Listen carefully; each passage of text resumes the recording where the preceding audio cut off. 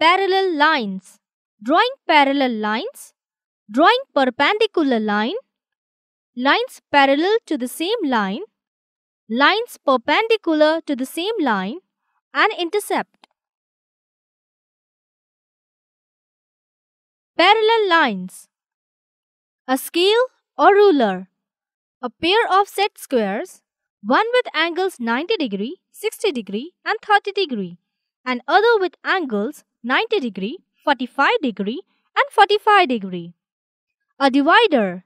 A compass with provision of fitting a pencil at one end and a protractor. We are the instruments found in your compass normally. Construction should be made by using a ruler and a compass only.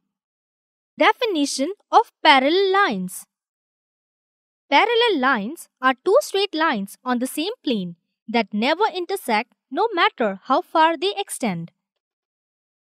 Think of cars on a long, straight highway. The cars traveling north are beside the cars traveling south, but they do not cross into the other lane. They are parallel. These two tools are known as the set square. One is 45, 90, 45 angled and other is 30, 60, 90 angled. To draw parallel lines, both are useful. To draw line L, show a point P outside the line. Put ruler along with line L and place a set square in the shown position. Now slide the set square along the edge of the ruler up to P and draw a vertical line through P.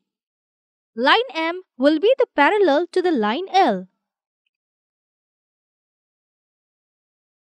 Let us check with the help of a ruler and a set square if the two given lines are parallel or not. We place the ruler AB and set square XYZ as shown in the above figure. Keeping the ruler in place, we slide the set square XYZ upwards till its side XY reaches line N. We find that the side XY of the set square XYZ coincides with the line N. Thus, we have verified that the line L and N are parallel. For second condition, we place the ruler AB and the set square HUT as shown in the above figure. Keeping the ruler in place, we slide the side HU of the set square HUT up to the line D. We see that, that the side HU of the set square HUT does not coincide with the line D. Thus, we have verified that lines D and E are not parallel.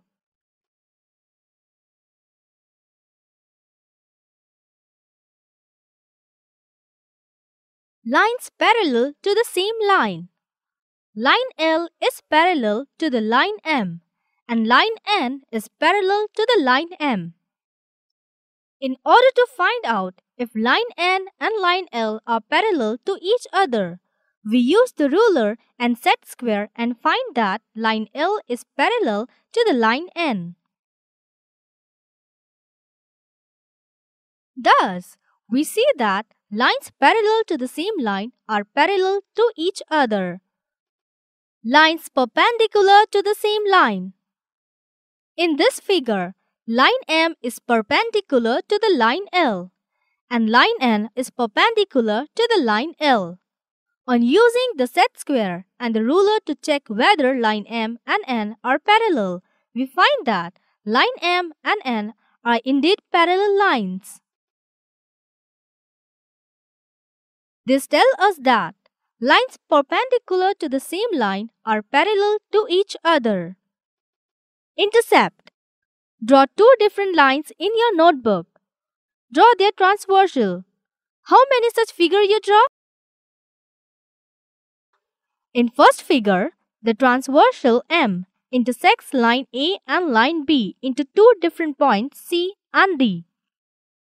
Segment CD is called the intercept formed by lines A and B on the transversal M. In the second figure, segment NP is the intercept cut of bylines E and F on transversal K. In third figure, segment TR is the intercept made by lines X and Y on transversal Z. Now in this figure, line L, line M and line N are parallel to one another. Of these, the intercept cut of bylines L and M on transversal P is CD and the intercept of lines M and N on transversal P is the segment DE.